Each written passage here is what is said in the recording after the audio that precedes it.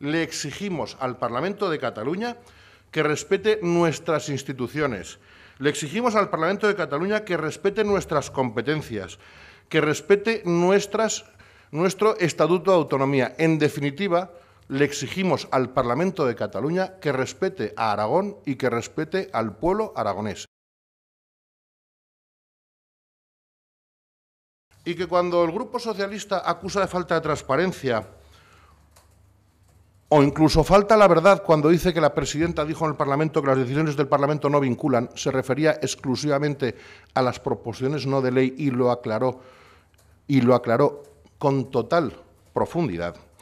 O cuando dice que permanecemos en el bloqueo, le quiero recordar que este gobierno de Aragón tiene una página web en la que se publican todos los convenios, tiene una página web en la que se publican todas las subvenciones. Por cierto, convenios y subvenciones que el Gobierno socialista no nos facilitaba nunca cuando se las pedíamos. Quiero recordarle al Grupo Socialista que cuando hablan de bloqueo al Parlamento, la presidenta ha comparecido en 15 ocasiones en el mismo periodo de sesiones, en el mismo tiempo de sesiones que Marcelino solo compareció tres.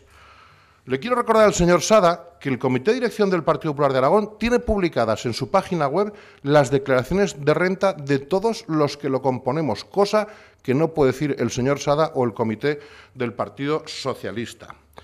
Y le quiero recordar al señor Sada que la presidenta se ha comprometido a traer al Parlamento de Aragón una ley de transparencia y que solamente estaban esperando para hacerlo a que se aprobase la ley nacional.